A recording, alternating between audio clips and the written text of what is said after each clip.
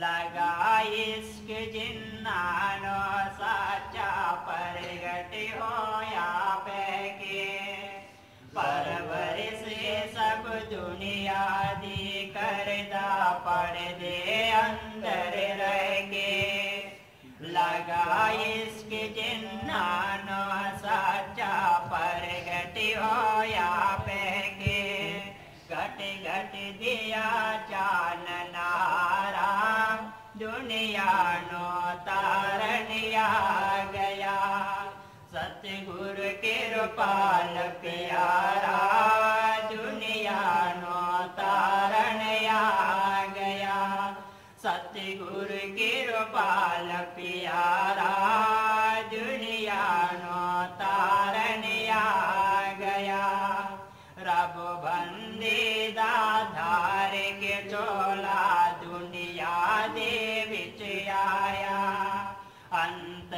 अंतरया में पुरख यना में है कृपाल सदाया। रब बंदे दातार के चोला दुनिया दे विच आया। अंतरया में पुरख यना में है कृपाल सदाया। आया कृपाल भंडारा अजायब नरस दे पा गया सतगुरु कृपाल प्यारा दुनिया नो तारण आ गया सतगुरु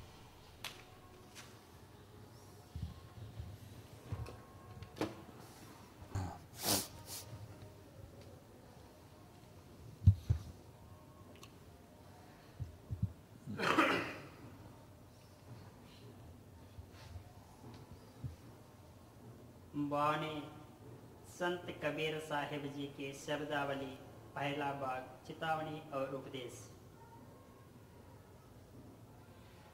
बिन सत्य गुरु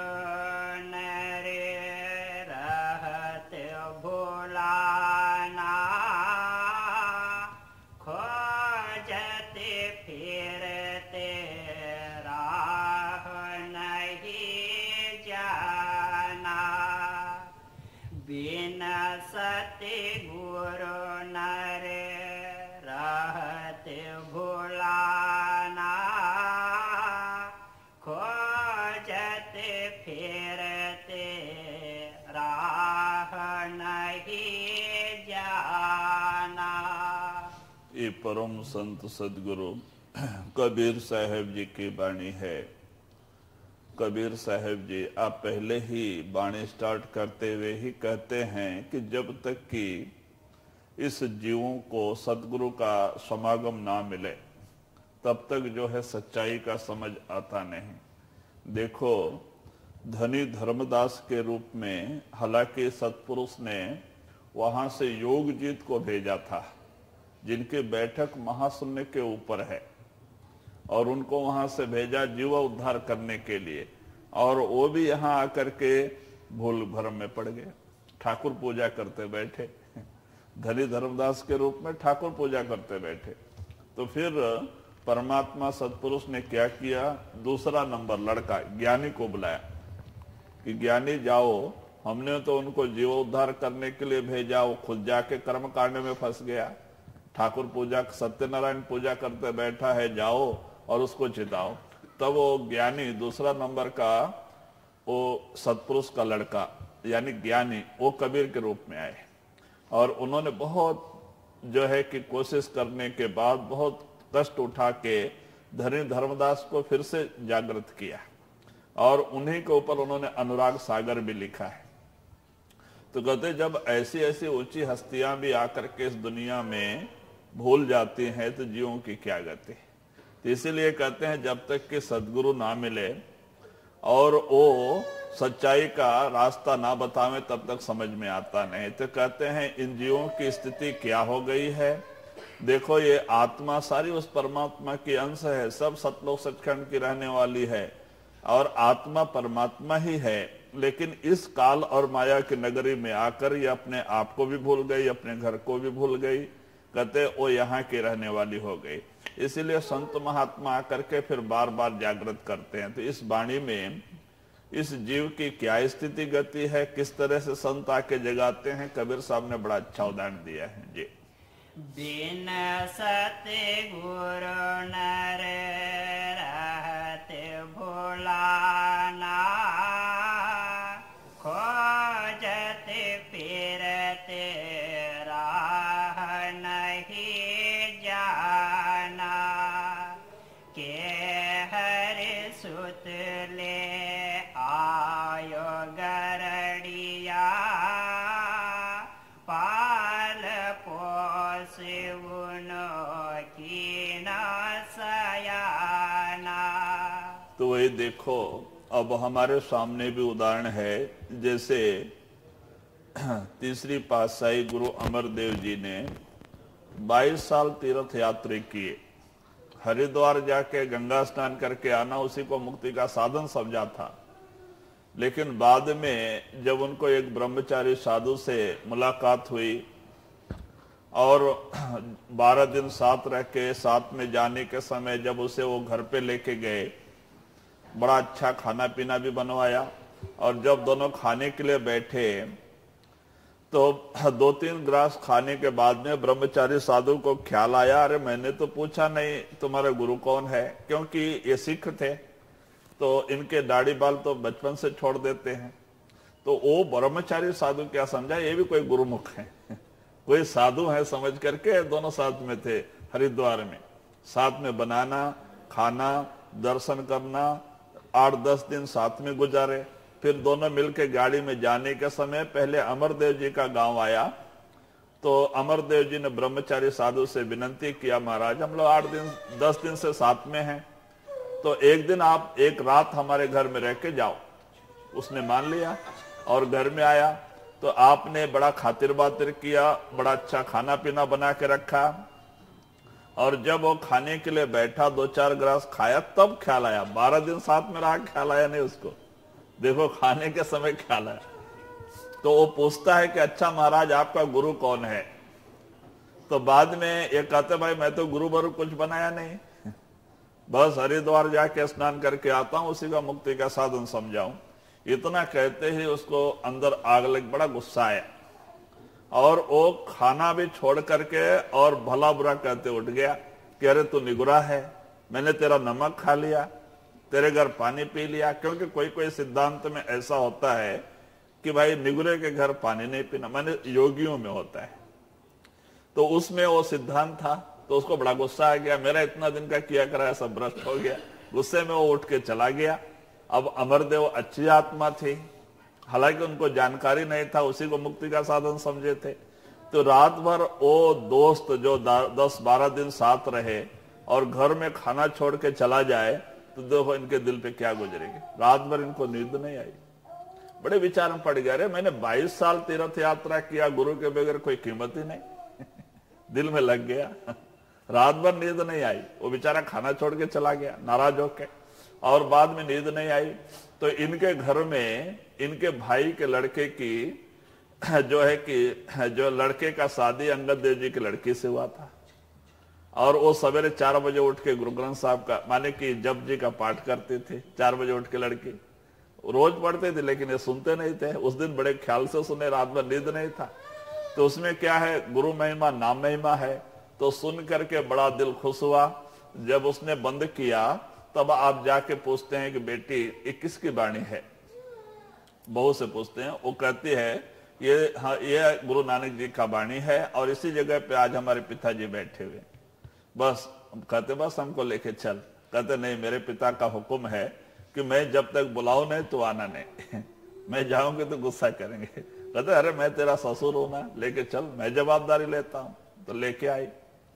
उनको बाहर खड़ा करके जब अंदर गई, नमस्कार करके पूछने के लिए, हुक्म के लिए तो अंगद देव जी हंस के कहते हैं, अरे बेटी, जिसको साथ लेके आए, उसको अंदर तो लेके तो अंदर लेके जाती है। उस समय इनका उम्र सत्तर साल का था तो आप जाके पैरों पे गिर पड़े, बहुत रोए। कहते, मेरा बहुत सारा उम्र ऐसे ही बीत गया, मुझे पहले ही खबर क्यों ना हुई?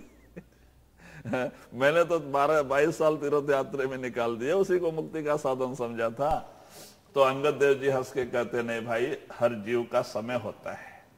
और जब तक समय नहीं आता है, उस जीव के अपने क्या बस की बात है कि वो संतों के शरण में चले जाए? तो तुम्हारा अब समय आ गया, तुम आ गए नहीं तो पहले क्यों नहीं आए? तुम्हारा समय आ गया।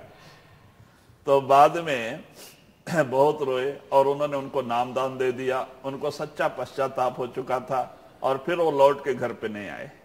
देखो, उन्होंने 12 साल सेवा किया, पानी ढोने का। और जिस सुमरन करते हुए सेवा करते थे, इसी इसी तरह से उनकी रू चढ़ाई कर गई। और अंत में देखो, अंगद देव जी जाने के समय अमर देव जी को ही अपनी जगह पे बिठा के गए। कहने का मतलब कि जब तक सदगुरु ना मिले, तब तक समझ आते नहीं। बाईस साल तीर्थ यात्रा की, लेकिन शांति नहीं आई। तो कहते वही बात है, वही आप कबीर साहब कहते हैं कि जीव की क्या हालत हो गई। तो आप एक उदाहरण देते हैं कि एक गडेरिया भेड़ लेकर के जंगल में गया और वो पहाड़ी की तरफ़ निकल गया। वहाँ एक शेर का बच्चा बाहर आ गया था, गुफा के। गडरियों को मिला। वो कुत्ते के बच्चे के जैसा बड़ा सुंदर था, शेर का बच्चा था। लेकिन गडरियों को क्या पता, कोई जानवर का बच्चा है बोल के उठा के लेके आया। शेर बाहर गए थे और उठा के लेके आया। तो वो भेड़ का, बकरी का दूध पिला के उसको पाला। तो बच्चा बचपन से ही भेड़ का दूध पी के पला था और भेड़ में ही खेलता था कुत्ता था, भेड़ में रहता था। उसको आदत पड़ गई थी भेड़ में साथ घूमने का। तो इस तरह से वो बड़ा हुआ। बड़ा होने के बाद में भी उसको ये पता नहीं कि मैं शेर हूँ। वो अपने आप को भेड़ समझ बैठा है, क्योंकि उसी का दूध पी के पला था, उसी में घूम रहा था। तो बाद में एक दिन वो गड़रिया भूला भटका फिर उसी जगह पे चला गया। तो जंगल का शेर ने देखा कि अरे भेड़ में शेर घूम रहा है। ये क्या बात है? बड़े आश्चर्य की बात है। तो बाद में वो जंगल वाला शेर इस भेड़ में जो शेर था, बचपन से इसी में पला था। वो अपने आप को भेड़ के साथ खेलता था, भेड़ के साथ अपने आप को भेड़ी समझ बैठा था। तो वो जंगल वाला शेर इस शेर के पास आके उसको कान में कहता, भाई तू कौन है? ये कहता, मैं भेड़ हूँ। कहता, अरे भाई तू भेड़ नहीं, तू शेर है। बोलता, नहीं नहीं, मैं भेड़ हूँ। क्योंकि उसी का दूध पी के पला था। तो बता भाई, तू शेर है, कहता, नहीं, मैं भेड़। बोलता अच्छा इधर आ। उसको बुला के लेके गया। तो उधर एक स्रोत झरना बहता था। तो झरना बहता था, उस पानी में झुक करके कहता अच्छा देख, मेरे और तेरे में क्या फ़र्क है? तो दोनों झुके तो देखता है उसका भी बराबर, इसका भी गर्दन, बाल सब बड़े बड़े हैं और एक ही जैसा मुँह है, सब कुछ देख के उसको आश्चर्य होता है, कहता है, कोई फ़र्क नहीं। बोलता अच्छा मैं गर्जना करता हूँ तो भी गर्जना कर। वो जंगली शेर ने गर्जना किया, ये शेर ने भी गर्जना किया, दो सिंह की गर्जना हो गई। अब एक सिंह की गर्जना हो गई तो जंगल जंगल हिल जाता है। दो सिंह की गर्जना हो गई, भेड़ भेड़िया सब भागे, पता नहीं किस कहा कहा भाग गए। जंगल खाली हो गया। तो बाद में वो शेर तब से स्वतंत्र हो गया, जंगल का राजा बन गया। तब उसको पता लगा कि मैं शेर हूँ, मैं भेड़ नहीं। तो कहते, यही हालत जीव की है। तो संत महात्मा आकर के कहते हैं कि अब ये जीव की क्या हालत हो गई है? ये मन रूपी गड़रिए के हाथ में पड़ गया। और वो इंद्रिय रूपी भेड़ में इसको रूप बना दिया। ये अपने आप को शरीर और इंद्रिय समझ बैठा है। महात्मा कहते नहीं भाई, तू आत्मा है, परमात्मा का अंश है। सतलोक सचखंड का रहने वाला है। बोलता, नहीं, मैं शरीर हूँ। कहते नहीं भाई, तू आत्मा है, शरीर तो किराए का मकान है। कहते नहीं, मैं शरीर हूँ। तो इनको संत क्या करते हैं? सुमरन और भजन का तरीका समझाते भाई, ढाई घंटे बैठो। जब हम उनका हुक्म मानते हैं, हमारी आत्मा धीरे धीरे सिमट के नौ दरवाजे से दसवें में आ जाती है। और यहाँ आती है तो वो शब्द रूपी स्रोत, कहते वो बह रहा है। जहाँ जाके हम अपने रूप को देखते हैं। यहाँ आते ही पहले आत्मा का रूप दिखाई देता है, फिर गुरु प्रकट हो जाता है। तब इसको भरोसा आ जाता है मैं तो आत्मा हूँ, मैं शरीर नहीं, शरीर तो किराए का मकान है। किसी को सत्तर अस्सी साल के लिए मिला, किसी को सौ साल के लिए मिला। ये तो किराए का मकान है, मैं आत्मा हूँ। तब जाके सच्चाई का पता लग जाता है, जब ये अपने आप को देख लेता है। अपने रूप को, आत्मा को देख ले। आत्मा की बैठक दोनों आँखों के बीच में है। तो इसी तरह से कहते हैं कि ये आत्मा की यही हालत हो गई। ये वो सतलो सचखंड की रहने वाली है यहाँ काल और माया ने क्या किया? तपस्या करके जीव को लाके इस तन मन के पिजरे में कैद कर दिया। ये अपने आप को भी बोल गई, अपने घर को भी बोल गई। फिर आके कहते, भाई, जब तक सदगुरु ना मिले, संतों का सत्संग ना मिले, तब तक इन विचारों को समझ भी नहीं आते। चाहे कितना बरस भी कर्म कांड कर ले, तीर्थ यात्रा कर ले, कहीं कोई पूजा पाठ कर ले, जब तक कि संतों का सत्संग ना मिले, सच्चाई की समझ आती नहीं। तो वही आप इशारा देते हैं जी। करते कलोला, रहते अजयन संग। आपन मरम हो नहीं जाना। तो वही कबीर साहब कहते हैं, उस सिंह की क्या हालत हो गई है? वो अपने आप को भेड़ के साथ में दूध पी के पला था, अपने आप को भेड़ ही समझ लिया। उसी के साथ खेलता था उसी के साथ रहता था अपने आप को ही समझ लिया। जी के हर एक जंगल से आयो ताहि देख बहुत सियाना तो वही कहते हैं वहाँ एक जंगल का शेर आया उसने इस शेर को देख के पूछता भाई तू कौन है? कहता मैं भेड़ हूँ। कहता नहीं बे भेड़ नहीं तू शेर है। कहता नहीं नहीं मैं भेड़ ही हूँ? क्योंकि उसी का दूध पी के पला था, उसी में रहता था। तो उसको गुस्सा आया, बोलता अच्छा इधर आओ। बुला के लेके गया और झरने में झुक करके अपना मुँह दिखाता, बोलता, देख, मेरे तेरे में क्या फ़र्क है? जब इसने देखा तो इसका भ्रम दूर हुआ। कहते हैं, ऐसे ही संत महात्मा हमें समझाते हैं सत्संग के ज़रिए, हमारी समझ में नहीं आता है। फिर वो भजन सुमरन देते हैं, नाम सुमरन और ध्यान देते हैं। और ये जब भजन सुमरन करके नौ से दसवें में आ जाता है तो इसको अपना रूप दिखाई देता है। तब जाके समझ आ जाती मैं तो आत्मा हूँ। आत्मा अलग है शरीर अलग है। माने आ, आत्मा जब तक शरीर में है तब तक ये शरीर पंच प्राण आत्मा से पंच प्राण काम करते हैं और पंच प्राण से यह शरीर चलता है। लेकिन जब आत्मा निकल जाती है पंच प्राण भी रुक जाते हैं शरीर भी मट्टी का ढेर बन जाता है। तो कहते भाई ये आत्मा के ज़रिए ही चलती है। आत्मा परमात्मा का अंश है और ये शरीर पाँच तत्वों का पुतला है, मट्टी का शरीर है। जब समझा करके संत महात्मा भजन सुमरन करा के अंदर लेके आते हैं, जब अपने आप को हम देख लेते हैं, हमें भी भरोसा हो जाता है और हमारा प्रेम प्यार दुनिया से हटके सदगुरु के चरणों से जुड़ जाता है। उस समय उस स्टेज से हम जब दुनिया को देखते हैं तो दुनिया क्या नज़र आती है? कचड़े के डब्बा। देखो जब मीराबाई अंदर गई उनको सदगुरु प्रकट हो गए, आत्मा का दर्शन हुआ, सदगुरु रविदास प्रकट हो गए, मीरा मस्तानी दीवानी बन गई। मीरा ने अपने जबान से ही कहा, पायो जी, मैंने नाम रतन धन पायो। वस्तु अगोचर दई मेरे सदगुरु, कृपा कर अपनायो। माने किसने दिया? सदगुरु ने दिया। और मुझे अपना लिया। मेरे अंदर वो चीज़, सदगुरु ने अमूल्य चीज़ दिया, जिसकी कोई कीमत नहीं। भाई, जो नाम है, उसकी कोई कीमत नहीं। नाम, जिसको पा करके जीव जो है, एक अज्ञानी जीव भी ज्ञानी बन जाता है। एक नर नारायण बन जाता है। और नाम बड़ी ऊँची चीज़ है। वो पारस के समान है जी। पकड़ के भेद तुरत समझाया। आपन दशा देख समो देख मुस्काना तो वही कहते हैं, जब उस शेर ने जाकर के अपना रूप बताया पानी के अंदर, देख करके तब वो शेर हंसा, बोलता हाँ मैं भी शेर हूँ, मैं भेड़ नहीं। तब उसको अपने आप का ज्ञान हो गया। कहते हैं, ऐसे ही इन आत्माओं का भ्रम कब तक दूर नहीं होता है? जब तक ये सुमरन भजन करके नौ से दसवें में नहीं आ जाता है। आत्मा का दर्शन नहीं होता है, गुरु और शब्द प्रकट नहीं हो जाता है, तब तक इनका शंका समाधान नहीं होता है। चाहे कितना ग्रंथ पढ़ लो, पुराण पढ़ लो, शास्त्र पढ़ लो, चाहे गीता, भागवत पढ़ लो, लेकिन शंका समाधान नहीं होता है जब तक इनकी तीसरी आँख खुल नहीं जाती है। नाम प्रकट नहीं होता है। तो इसीलिए महात्मा कहते हैं, वहाँ देख करके ही नहीं, अपने आप का ज्ञान होता है, भाई मैं आत्मा हूँ, मैं शरीर नहीं, और इनका सारा शरीर से प्रेम प्यार हटके सदगुरु के चरणों से जुड़ जाता है। तो सच्चा प्रेम प्यार सदगुरु के चरणों से प्रकट होता है। लेकिन जब तक हम देखेंगे नहीं, गुरु किस हस्ती का मालिक है भाई, हमें गुरु के ऊपर भरोसा कैसे आएगा? तो महात्मा कहते, भाई, ढाई घंटा भजन सुमरन करो। नौ दरवाजे छोड़ के दसवें में आ जाओ।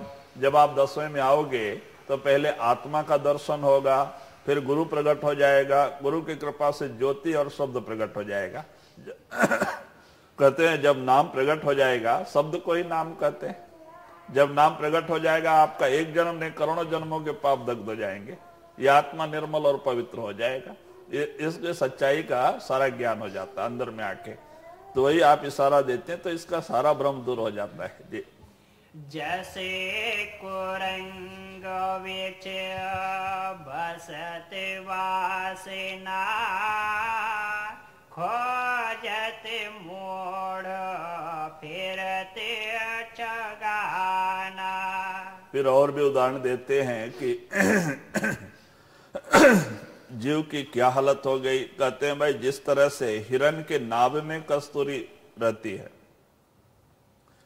रहती है कस्तूरी हिरण के नाभ में, वहाँ से उसको सुगंध आती है। लेकिन वो बेचारा सोचता है, कहीं जंगल के जंगल से, कहीं घास में से सुगंध आ रही बोल के भागता है, दौड़ता है। कहीं भी जावे, सुगंध उसके नाभ से आते रहती है, वो ढूंढता है, सारा तरफ़ घास घास में ढूंढता है। लेकिन उसको ये पता नहीं कि सुगंध हमारे नाभि स्थान से आ रही। तो कहते भाई, ऐसे ही सब कुछ परमात्मा ने हमारे अंदर रखी है। अपने आप को भी हमारे अंदर रख के बैठा है। परमात्मा हमारे अंदर है, हम उसको ढूँढने के लिए बाहर जाते हैं। कोई काशी को जाता है, कोई हरिद्वार को जाता है। और कोई कहते हैं कि, भाई, अड़सठ तीरथ धाम करके आ जाता है महात्मा। कहते भाई तो तुम्हारे पास ही बैठा है। बगल में बच्चा, शहर में डिंडोरा। कहते भाई, बच्चा बगल में? महाराज कहानी बताते थे एक माई मेला देखने के लिए गई। बगल में बच्चा बाँध के रखा था। वो मेला देखते देखते वो भूल गई और बाद में रोना चालू कर दिया, मेरा बच्चा गुम हो गया। तो कोई सयाना आदमी देख के कहता, अरे मायू, बगल में क्या है? जब देखा तो बोलता, अरे बच्चा तो इधर ही। तो ऐसा परमात्मा हमारे अंदर, हमारे साथ रह के हम जो है उसको ढूँढने के लिए कहीं जंगल में जाते हैं, पहाड़ों में बैठते हैं, उपवास रहते हैं क्या क्या नहीं करते। तो कहते भाई, वो पास में ही है। जैसे कि हिरण के नाभ में कस्तूरी है और हिरण सारा जंगल ढूंढता है। लेकिन लस्त होके थक जाता है, मिलता तो कुछ नहीं, क्योंकि वो तो नाभि में है, उसको पता नहीं उसका। तो कहते यही हालत है, ये जीव बेचारा, वो मालिक अपने अंदर बैठा है, पास से पास है। लेकिन जब तक कि सदगुरु संत ना मिले और उसका भेद ना बतावे, भजन सुमरन करके हम अंदर ना आ जावे, शब्द प्रकट ना होवे, परमात्मा का मर्म पता नहीं चलता है। सच्चाई का जो भेद हमें कुछ खबर नहीं हो पाती है। तो वही आप पहले ही कबीर साहब ने बाणी में कहा कि बिन सदगुरु नर फिरत भुलाना। कहते भाई बेगर सदगुरु संतों के समागम के जीव बिचारा दुनिया में भूल भरम में भटकते जाता है, भटकता है। और जो कुछ भी करता है, उसको सच्चा ही समझ के करता है। कोई भी करता है, वो सच्चा समझ के करता है। लेकिन फ़ायदा कुछ मिलता नहीं। जी। करे उस वासे, मन में देखे। ये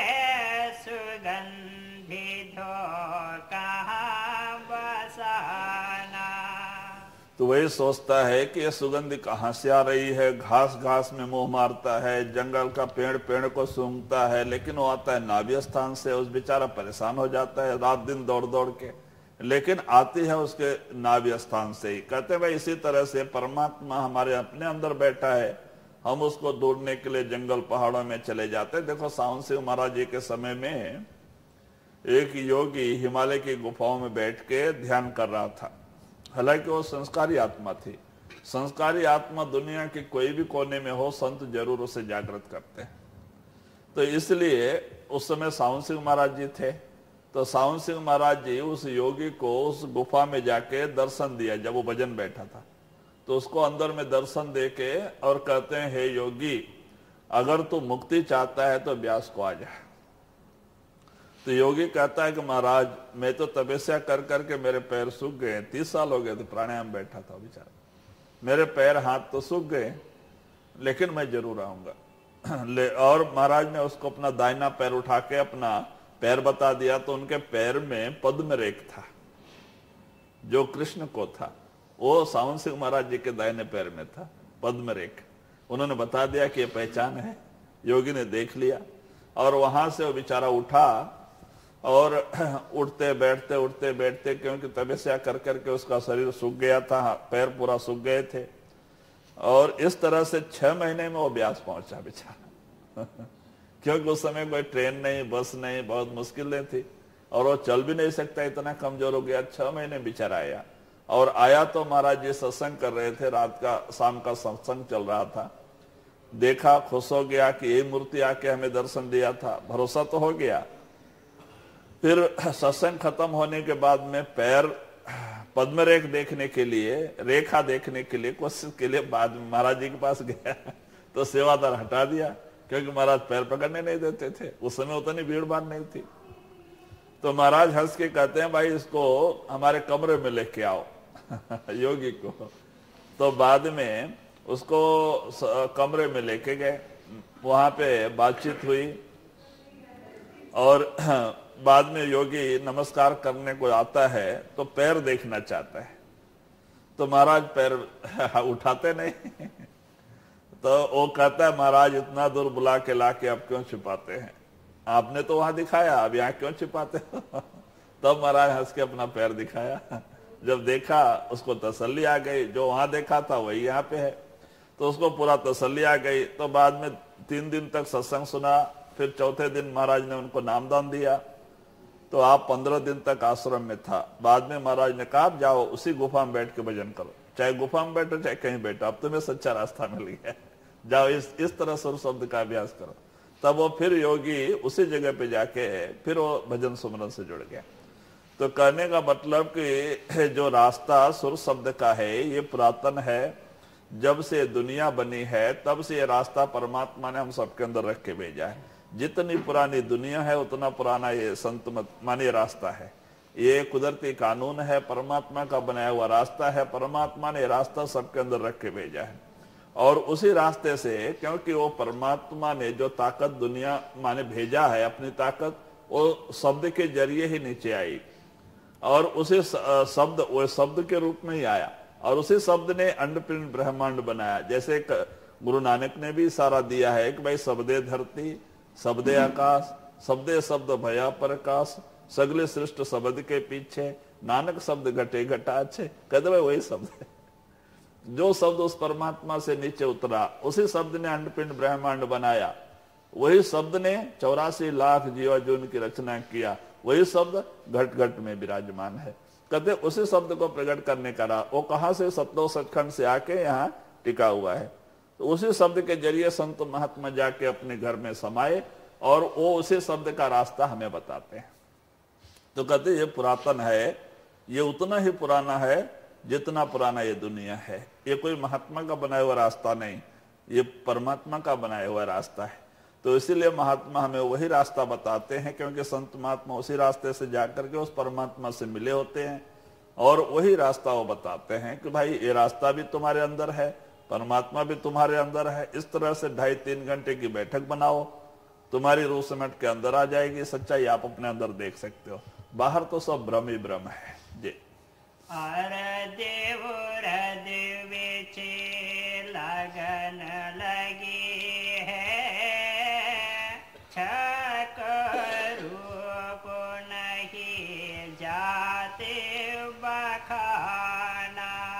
तो कहते हैं, भाई, आके जब आपकी रोज सिमट के दसवें दरवाजे में आ जाती है, आपको अपने आत्मा का रूप दिखाई देता है, उसमें बड़ी खुशी हो जाती है। अरे, मैं तो आत्मा हूँ मैं शरीर नहीं, मैं अभी तक अपने आप को शरीर ही समझ के बैठा था, मैं आत्मा हूँ। इसको इसको बड़ी खुशी हो जाती है। ये अपना रूप देख के मगन हो जाता है। जिस तरह से शेर ने पानी में अपना रूप देख के खुश हो गया, मैं तो शेरों में बेड़ नहीं, मैं अपने आप को बेड़ी समझा था वैसे आत्मा को भी अंदर आके दसवें दरवाजे में जब अपने आप को देख लेता है, पहचान लेता है, इसकी सारा शंका दूर हो जाती है। और वहाँ पे उसको एक आत्मज्ञान कहते हैं, जिसको विवेक ज्ञान कहते हैं। जो विवेक ज्ञान कहते हैं कि अष्टावक्र महामुनि ने राजा जनक को दिया था। वो सच्चा आत्मज्ञान नहीं था।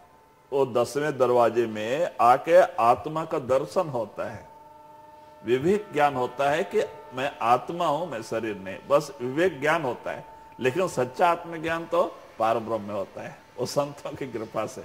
लेकिन जो अष्टावक्र महामुनि ने राजा जनक को दिया था, वो तो दसवें दरवाजे का, सातवें चक्कर का था। आत्मा का दर्शन कराया था। आत्मा ज्ञान आत्मा के ऊपर आवरण होता है वहाँ भी। सूक्ष्म शरीर का आवरण है वहाँ पे। लेकिन पार ब्रह्म में जाके जब मानसरोवर स्नान करके अमृतसर स्नान करके आत्मा निर्मल हो जाती है, स्थूल सूक्ष्म कारण तीनों शरीर के पर्दे हट जाते हैं, आत्मा नंगी हो जाती है, तब सच्चा आत्मज्ञान होता है पार ब्रह्म है, और वो संतों की कृपा से होता है। और वही नकल रामदास स्वामी जी ने अमृतसर में बनाया है स्वर्ण देवालय ये अंदर की नकल है पार ब्रह्म का।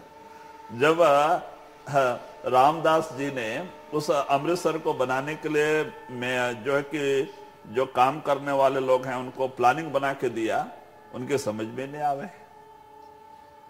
तो बाद में बहुत बताए, लेकिन वो भूल जाते थे, उनको समझ में नहीं आवे कैसे बनावे। तो फिर उसको नाम दान दिया। रामदास जी ने उनको नाम दान दिया, मिस्त्री को, और उसको अंदर लेके गए, पारब्रह्म में। और वो बताया, जब उसने अंदर देख लिया तो फिर बोलने की ज़रूरत नहीं, फिर उसने वो बनाया। तो उसका फाउंडेशन रामदास स्वामी ने रखा। उसको पूरा अर्जुन देव जी ने किया। वो अर्जुन देव जी के समय में, और उसकी जो बुनियादी है, मियाँ मीर, मुसलमान फकीर थे, वो उनके, उनको बड़ी इज़्ज़त देते थे। तो वो उनके द्वारा रखा था उन्होंने। जिस समय अर्जुन देव जी को तसीहे दे रहे थे, मैंने आके अंगार तपते हुए लाल तवे में बिठा के ऊपर से जलता हुआ रेत डाल रहे थे। माने ये कर रहे थे, इतना तकलीफ़ दे रहे थे, उस समय उसको पता लगा वो भाग भाग के आए और आकर के वो मुसलमान फकीर कहता है, महाराज, आपको इतना तकलीफ़ दिया जा रहा है, आप चुपचाप बैठे हैं। अगर आप इशारा दे दो, मैं सारे दिल्ली को तबाह कर देता हूँ। क्योंकि वो अच्छा पहुँचा हुआ महात्मा था। तो अर्जुन देव जी हंस के कहते ये काम तो मैं भी कर सकता तो देखो ऊपर. जब ऊपर देखते हैं तो सारे ब्रह्मा, विष्णु, महेश्वर, तैतीस करोड़ देवी देवता सब हाथ जोड़े खड़े हैं कि महाराज, कुछ हुक्म करो, आपके साथ इतना अन्याय हो रहा है। आप चुपचाप बैठे हो, कुछ हुक्म करो। ये कहते नहीं। कहते, देखो, वो लोग चुप है, मैं भी चुप हूँ। तो कहते, भाई, ये काम तो मैं भी कर सकता था।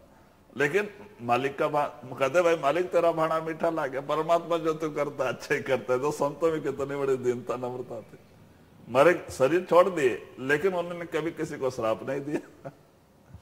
तो कहते भाई एक इसी तरह से एक बार जब मोहम्मद साहब और उनके एक शिष्य थे, अली अली पैगंबर तो दोनों मिलके जा रहे थे।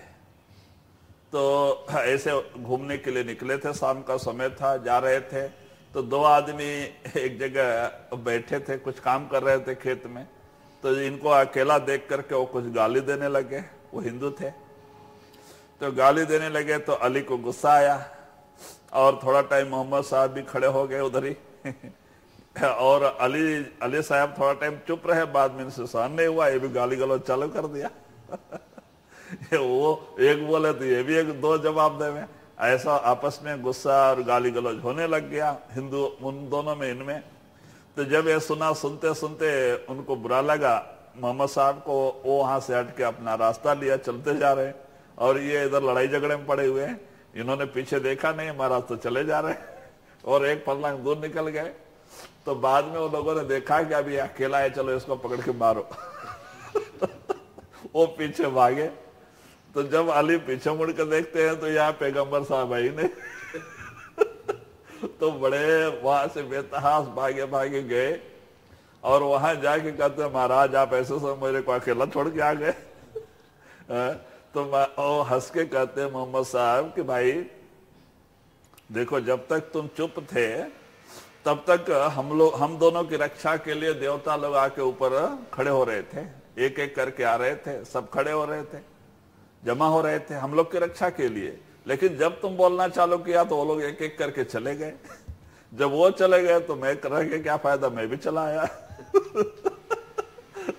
तो कहते भाई, इस तरह से तो कहते इस तरह से संतों महात्माओं में शांति होती है।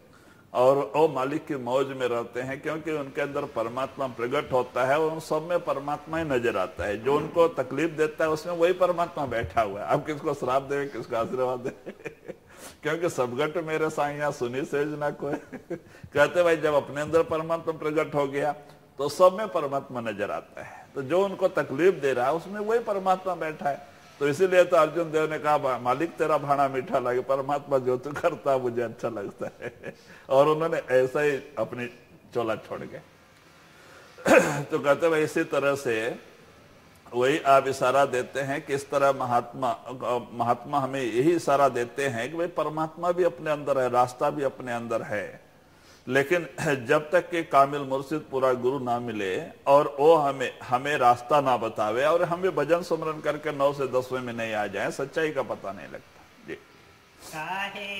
कबीर, सुन भाई साधो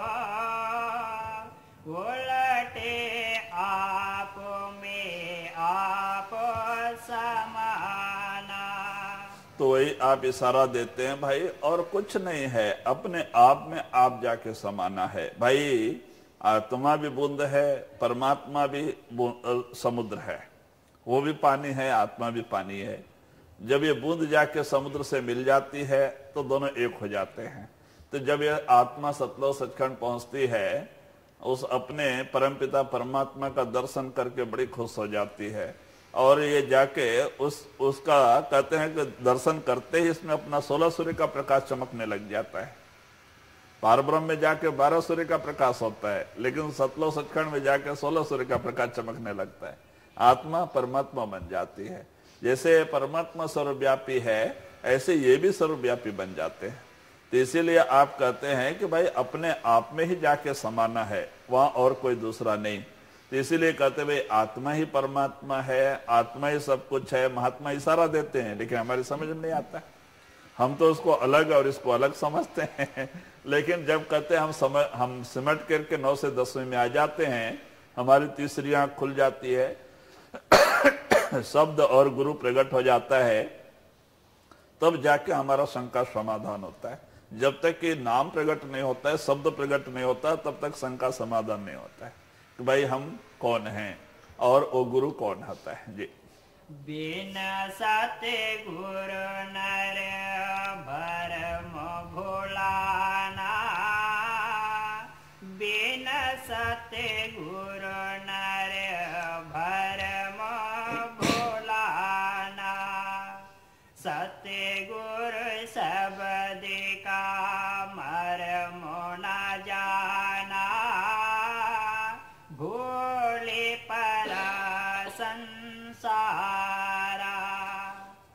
आप कहते हैं, बगैर सदगुरु के दुनिया, माने जीव, नर, भूला घूमता है। क्योंकि वो शब्द का भेद जो है, इसे पता नहीं चलता है। वो शब्द भी हमारे अंदर है, आत्मा भी हमारे अंदर है, मन भी हमारे अंदर है। संत हमें उस शब्द से जोड़ते हैं।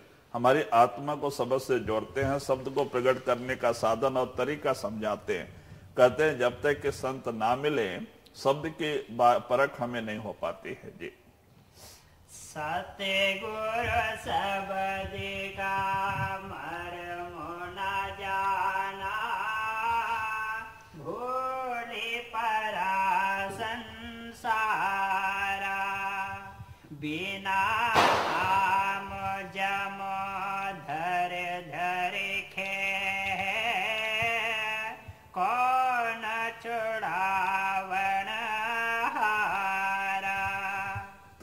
आप इशारा देते हैं कि भाई, बेगर नाम के यम छोड़ते नहीं, क्योंकि अंत समय में हमारे अपने ही अंदर एक ताकत है जिसको गुप्त चित्त कहते हैं, चित्रगुप्त कहते हैं।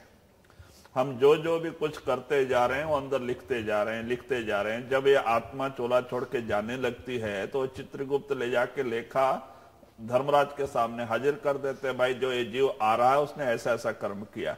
तो वहाँ क्या होता है? जजमेंट न्याय होता है। उसके किए कराए कर्मों के अनुसार वहाँ पे फैसला होता है। अगर पाप ज़्यादा है तो नरकों में ढकेल दिया जाता है, सजा भुगतनी पड़ती है। अगर कुछ पाप कम है तो चौरासी के जामे में ढकेल दिया जाता है। जीव जाके पेड़ पौधों के शरीर में गिर जाता है, भेड़ बकरे, कीड़े मकोड़े के शरीर में गिर जाता है, इस तरह चौरासी में भटक जाता है। कहते हैं कि इस तरह भाई, क्यों ऐसा होता है? भूल और भ्रम में पड़ के। आत्मा ने मन का साथ पकड़ लिया है, मन इंद्रियों का गुलाम बना बैठा है, इस तरह से कर्म करके जीव मलिन हो जाता है। तो वही आप इशारा देते हैं कि जब तक सदगुरु ना मिले और शब्द से हमारी आत्मा को जोड़ ना दे और वो शब्द हमारे अंदर प्रकट ना हो, सच्चाई का पता नहीं चलता है।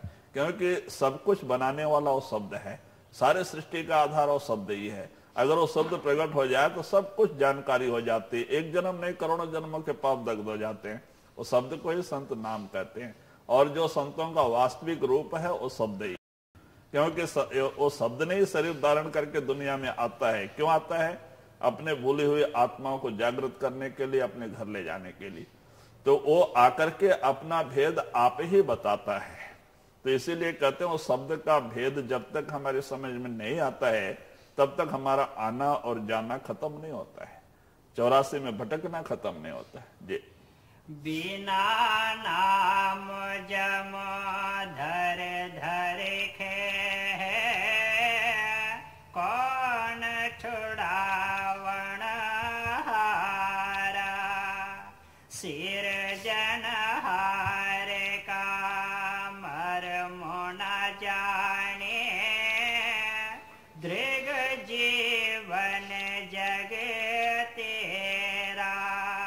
तो वही कहते उस नाम के बिगर इस जीव को इस काल के जाल से छुड़ाने वाला कोई नहीं। तो कहते हैं, अगर भाग्य से कहीं, सदगुरु मिल जाए कामिल मुर्शिद मिल जाए, वो हमारी आत्मा को सबक से जोड़ दें। कहते हैं कि तब जाके इसका छुटकारा होता है, क्योंकि वो शब्द ही इसको अंत समय में रक्षा करता है। अगर गुरु आज नाम दे के कल ही क्यों न चोला छोड़ जाए, लेकिन फिर भी वो शब्द उसको छोड़ता नहीं। वो शब्द ही उसको गुरु के रूप में दर्शन देता है, अंत समय में। गुरु जिस रूप में हमें नामदान दिए होते हैं, उसी रूप में वो शब्द ही हमें अंदर में दर्शन देता है और हमारी आत्मा को दर्शन दे के ऊपर के मंडलों में लेके जाता है। तो इसीलिए इशारा देते हैं कि भाई, जब नाम के बगैर इस जीव की रक्षा करने वाला कोई ताकत नहीं। तो इसीलिए तो कहते हैं, नाम के धारे खंड ब्रह्मांड, नाम के धारे तुरिया पाताल, कहते सब नाम के आधार पे है, सारी रचना नाम से ही हुई है।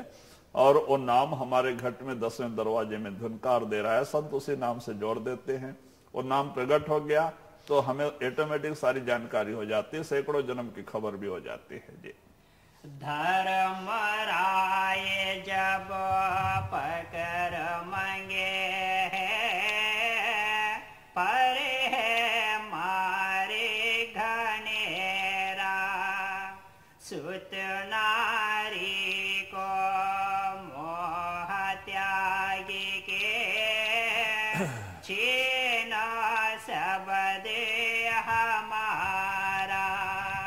कबीर साहब इशारा देते हैं, भाई, जिस चीज़ में हम भूले हुए हैं, दुनिया और दुनिया के सामान में, कहते अंत समय में ये चीज़ें हमारा साथ छोड़ देती हैं और वो हमें अंदर में दंड और शिक्षा मिलता है। भाई, अगर कामिल मुर्शिद और नाम ना मिले तो जीव की बड़ी दुर्गति होती है। कहते हैं, करोड़ों जन्मों का पुण्य हुए तो उसको मानव शरीर मिलता है और उस प्रभु परमात्मा की कृपा होवे तो जाके संत मिलते हैं। तो जिसको सदगुरु मिल गया, उनका लेखा नहीं बढ़ा जिनको सदगुरु मिल गया, उनका काम तो बन गया। हालाँकि वो नाम और सदगुरु उसकी तो रक्षा कर लेते हैं। और जिन जीवों को कोई नाम नहीं, सदगुरु नहीं, उन बेचारों की क्या हालत होगी? तो वही आप इशारा देते हैं कि वो बेचारों को चौरासी के जेल खाने में भटकना पड़ता है। जो आज संबंध है, वो कल नहीं रहते हैं। जिस शरीर में भी आत्मा जाके समा, जाती है, कर्मानुसार जो शरीर मिलते हैं वहाँ पे उसी तरह के हमारे यार, दोस्त और मित्र और बाल बच्चे होते हैं। मानी ये आत्मा वहाँ पे नहीं मिलती हैं। इनका संबंध तो इसी शरीर में है। और आगे कोई और ही मिलेगा। ये कर्मों का लेन देन का हिसाब किताब है। देखो, महाराज जी अपने जबान से कहते थे अजैब सिंह महाराज जी कि उनके पास एक काला कुत्ता था। और उनके जैसे कि हमारे राजस्थान, पंजाब और यूपी में दरवाजों पे खाटे पड़े होते हैं, खटिया पड़ी होती खाट होते हैं। हमारे दक्षिण प्रांत में तो नहीं। लोग नीचे ही बैठते हैं, चटाई बैठते हैं, वहाँ खाट का रिवाज कम तो नीचे ही लोग सोते हैं, नीचे बैठते हैं। तो वहाँ, क्योंकि हमारे उत्तर प्रदेश और ये उत्तरी भाग में सब पानी की जमीनें हैं। चारों तरफ़ पानी और ज़मीन फ़सल होती है ना, और हमारे यूपी में इधर उधर खड्डे होते हैं, गाँव के चारों तरफ़, वही मट्टी ला के घर बनाए होते हैं तो उसमें सांप बिच्छू ज़्यादा होते हैं, और उस कारण से खाट के ऊपर सोते हैं, और वो दक्षिण प्रांत में वो चीज़ें नहीं है, ना सांप, ना बिच्छू, इसका कोई डर नहीं रहता तो नीचे आराम से पड़े रहते चटाई पे तो एक काला कुत्ता था महाराज जी के घर में, वो आठ दस खाट पड़े रहते थे दरवाजे पे, लेकिन वो उसी खाट के ऊपर जाके बैठता था। अगर उसको मारो, भाग के जाता था, फिर आके उसी खाट पे बैठता था। तो अजायब सिंह महाराज जी को बड़ा आश्चर्य होता था, क्या बात है, काला कुत्ता खाट छोड़ता नहीं। उसी खाट पे जाके बैठता है। तो बाबा विशन दास जी, इनके माता पिता बाबा विशन दास को बहुत मानते थे, पहले से। उनके घर में आते थे। तो वो अच्छे महात्मा थे। बाबा बिशन दास जी राजघराने वाले थे, अच्छे कुटुंब परिवार में पैदा हुए थे, और उन्होंने इंग्लैंड में जाके पीएचडी भी किया था। उस समय पीएचडी इंडिया में नहीं थी, इंग्लैंड में जाकर करना पड़ता। वहाँ भी जाके उन्होंने पढ़ाई की, ये पीएचडी प्राप्त की। फिर भी बैराग पैदा होके, और वो देखो योगी बन गए थे। अपना जो गुरु नानक का, जो उनके लड़कों ने श्री चंद, लक्ष्मी चंद ने रास्ता निकाला था, उसमें अमोलक दास के वो शिष्य थे। उदासी मत। उदासी। देखो, गुरु नानक के घर में ही पैदा हुए थे, श्री चंद लक्ष्मी चंद। हालाँकि गुरु नानक संत महात्मा, सतपुरुष थे। लेकिन उन्होंने उनका बात नहीं माना। हमेशा उनसे विरोध किया। तो कहते हैं कि काल, जब कबीर साहब आ रहे थे इस दुनिया में जीव छिताने के लिए तो काल रास्ते में आके खड़ा हो गया। कहते, आप कहाँ जा रहे हैं? कहते हैं मालिक ने भेजा है, हम जीव उद्धार करने के लिए। कहते हैं तो बहुत बुरा चीज़ है, तुम आके हमारा देश बिगाड़ने के लिए आ रहे हो। बहुत दोनों में लड़ाई झगड़ा होता है। और फिर बाद में कबीर उसको मारने के लिए जाते हैं तो बोलता अच्छा भाई, ठीक है, तुम जाओ, लेकिन तुम ये सोच लो, तुम एक कबीर बन के जाते मैं बारह कबीर बन के आऊँगा। कहता है, तुम तो एक कबीर बन के जाके और जोग चिता के चले आओगे, बाद में बारह कबीर बन के लोग ब्रह्म में डालूँगा। तो ऐसा ही हो गया। कबीर तो एक ही आए, सच्चे कबीर तो एक ही थे। लेकिन बाद में बारह कबीर बन गए। वो काल के, काल ने अपने ताकत भेज दिया, रिद्धि सिद्धि वाले। और वो पीला कपड़ा रुद्राक्ष और ऐसे वैसे माला बीला भी रखने लग गए और ऐसे करने लग गए। लोगों को कर्म कांड में बाँध दिया। रिद्धि सिद्धि बता के आकर्षित कर दिया। तो वो कबीर साहब तो एक आके संत मत का, सतनाम का वेद बता के गए और ये आके गुप्त कर दिया, सबको भ्रम में डाल दिया। इसीलिए तो बड़ा हालत खराब है। आज देखो कबीर मठ जाकर बनारस में, वहाँ क्या है कर्म कांड पीला कपड़ा, रुद्राक्ष पहन के अब तो महंत बने बैठे हैं। संत नहीं, महंत। महंत बन गए और सबको ब्रह्म में डाल दिया। और कबीर साहब के हम बनारस में गए, कपिल चौरा में, क्योंकि हम बहुत दिन के बाद में, हम आंध्रा, एक कर्नाटका वाले लोग को लेके गए थे, अपना आंध्रा मोदिगल वाले लोग, दस बारह लोग। तो वो लोग बोला, हम आश्रम देखेंगे। कबीर साहब को तो लेके गए। तो हम भी पहले कभी गए नहीं थे। जब वहाँ गए, उसी समय घंटा बजा था, बारह बजे खाने का। तो हम लोग अंदर गए तो महंत जी बैठे हुए थे सामने कुर्सी पे। तो वो कहते, भाई, रुक जाओ, अभी दस पंद्रह मिनट बाद में खाना, अभी मत बैठो, लंगर मत बैठो बोल के, लंगर बाहर ही था। तो हम लोग जब तक थे, तब तो लोग बैठा भी नहीं वो खाने के लिए। तो हमको बुला के पूछता है कि, भाई, क्या?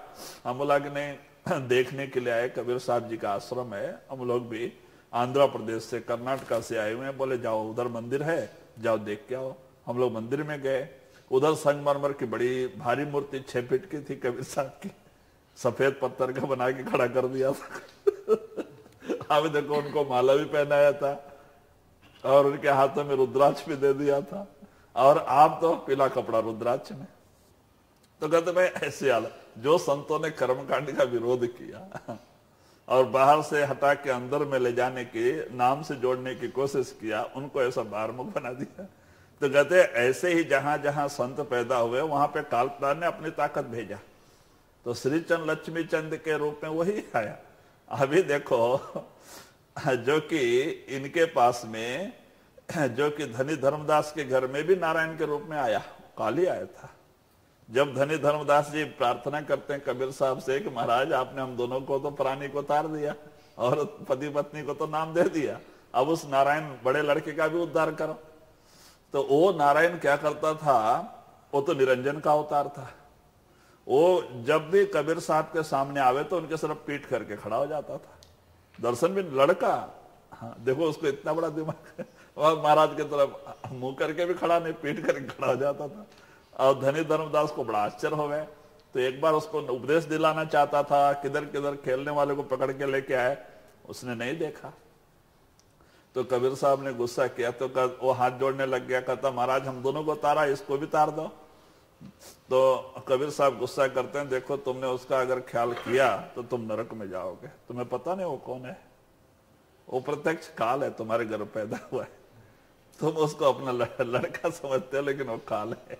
वो कभी तुम्हारा बात तो नहीं मानेगा। तुमने अगर उसके प्रति मोह रखा तो तुम नरक में जाओगे। सीधा बोल दिया। तब जाके उन्होंने उसका ख्याल छोड़ दिया। और बाद में कबीर साहब के जो है कि आशीर्वाद से एक और लड़का पैदा हुआ, जो चूड़ामणि, छोटा लड़का, चूड़ामणि, वो पैदा हुआ। तो उसने जो है वो हाँ, पिता का कहना माना। तो बाद में उसी धनी धर्मदास जी चूड़ामणि को ही गादी बिठा के गए। नारायण को नहीं दिया।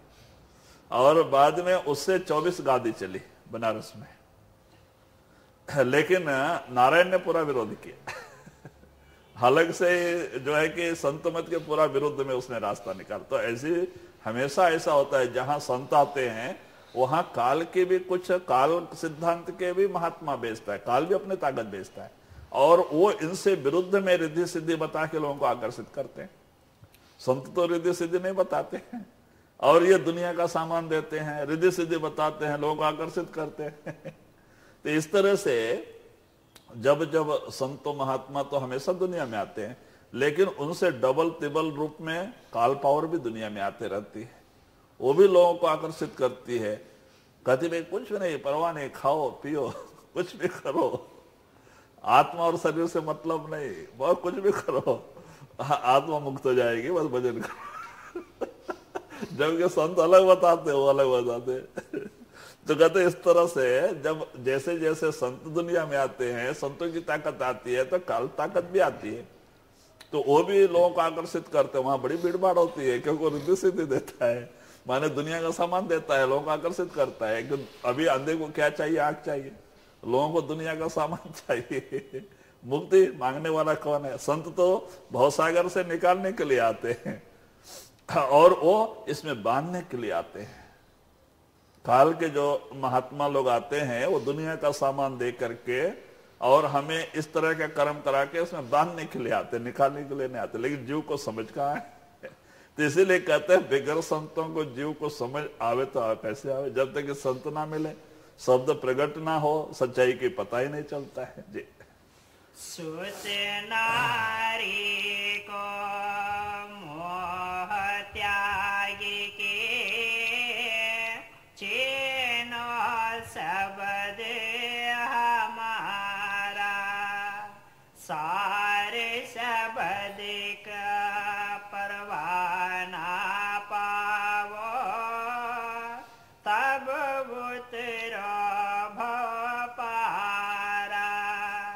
कबीर साहब जी कहते हैं, इसीलिए ये सारा ममता और प्रेम प्यार हटा के सदगुरु के चरणों से जोड़ो, नाम से जोड़ो। जब आप भजन सुमरन करके अंदर आओगे, पहले अनहद शब्द प्रकट होगा, अनहद जो है सार शब्द से कनेक्शन देगा, सार शब्द सत शब्द से कनेक्शन देगा। सार शब्द पार ब्रह्म का शब्द है, और संत उसी शब्द से हमारी आत्मा को जोड़ते हैं, और हमारा निरत रूपी डोर जो है, वो पार ब्रह्म में बाँध देते हैं। काल उसको सदल कमल में बांधा होता है, पहले। ये आत्मा मर के वहीं पे जाती है। तो वो संत नामदान के दिन क्या करते हैं, उस निरत रूपी जो रस्सी है, आत्मा का, उसको वहाँ से निकाल करके पार ब्रह्म में बाँध देते हैं।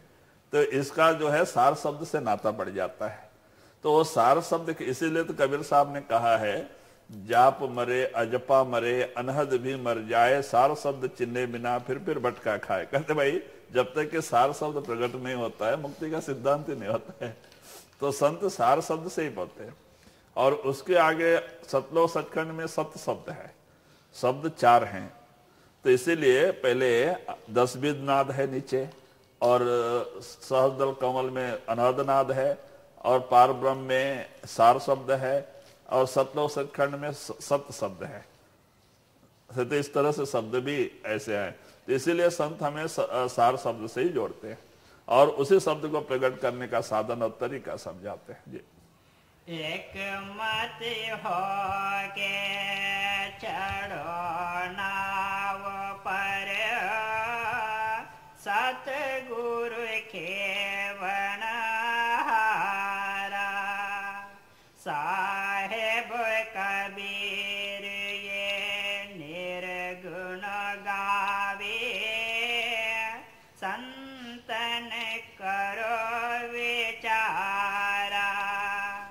कबीर साहब जी, आप कहते हैं, भाई, एक मत हो करके, अपने ख्याल को स्थिर कर करके, सच्चे प्रेम और प्यार से आप गुरु का हुक्म मानो। सुर शब्द के अभ्यास में लग जाओ, सार शब्द को प्रकट कर लो। बस, जहाँ से आप आए, वहाँ पहुँच जाओगे। लेकिन पहले गुरु के ऊपर भरोसा बहुत ज़रूरी है। जब तक कि गुरु के ऊपर भरोसा नहीं आता, हमारा काम भी नहीं बनता।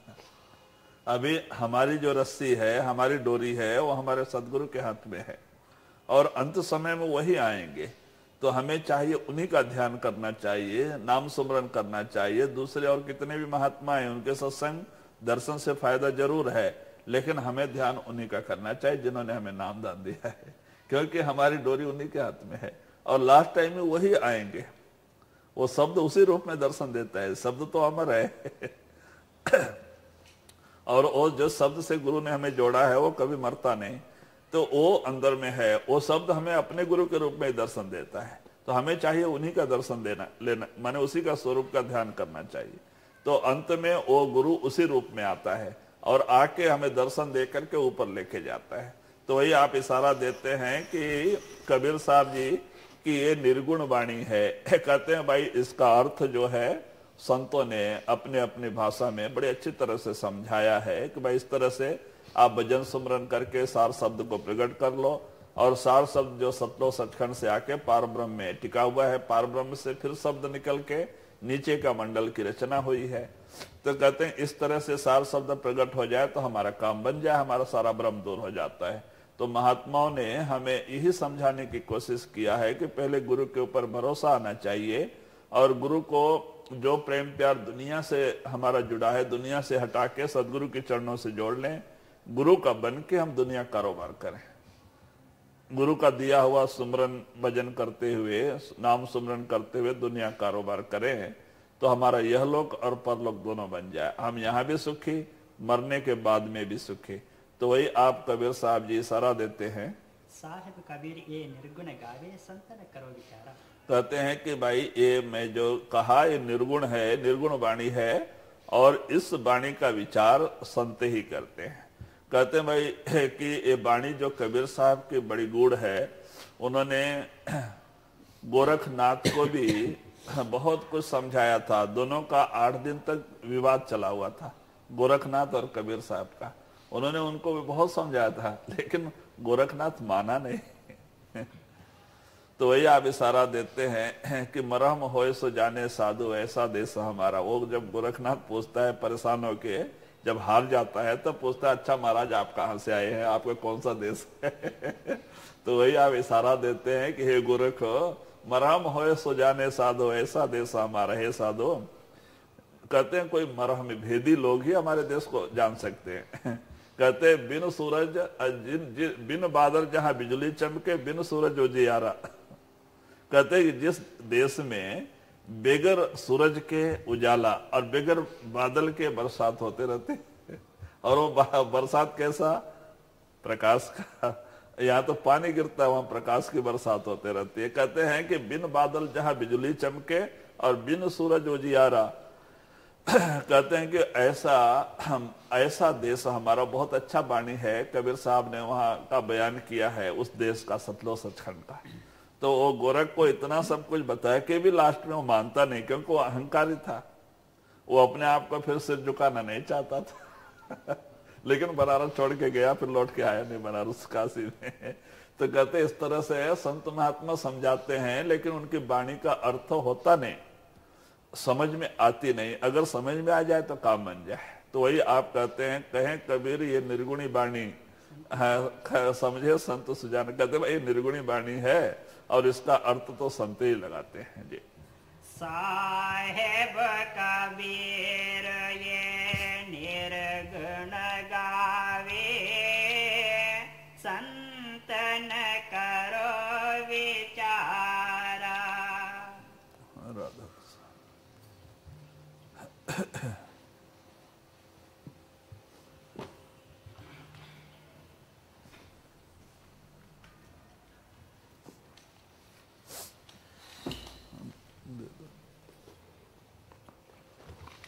इनको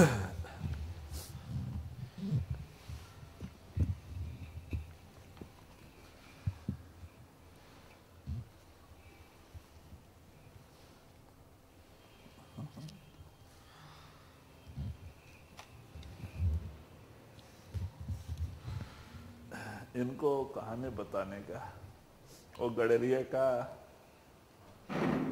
इनको बाद में वो गडरिये का शेर से, शेर का बच्चा गडरिया के हाथ में मिलता है उसको हाँ।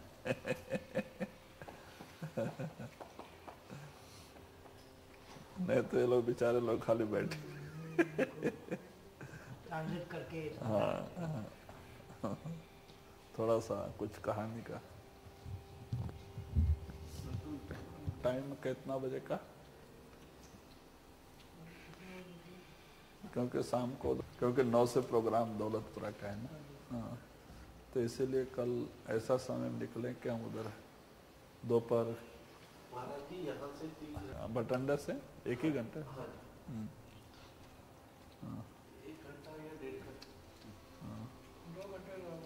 तीन चार थे, चार घंटे तक का चार घंटे। थोड़ा रास्ता ठीक है। हाँ शाम का सत्संग हाँ शाम को छः बजे। हाँ। दो बजे पहुँच जाएँगे तो दिल नाराज़ नहीं होना चाहिए क्योंकि वो छः बजे सत्संग उधर करना पड़ता है ना तो हम लोग दो घंटा तीन घंटा तो पहले पहुँचना चाहिए हमारी बेनती है हाँ।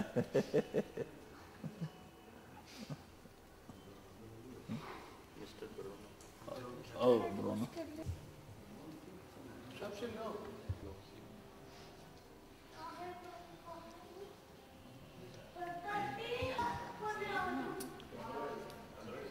ಕ್ಯಾಮ್ರಾ ಇದೆ ಬನ್ರಿ ಮೊಬೈಲ್ ಕ್ಯಾಮ್ರಾ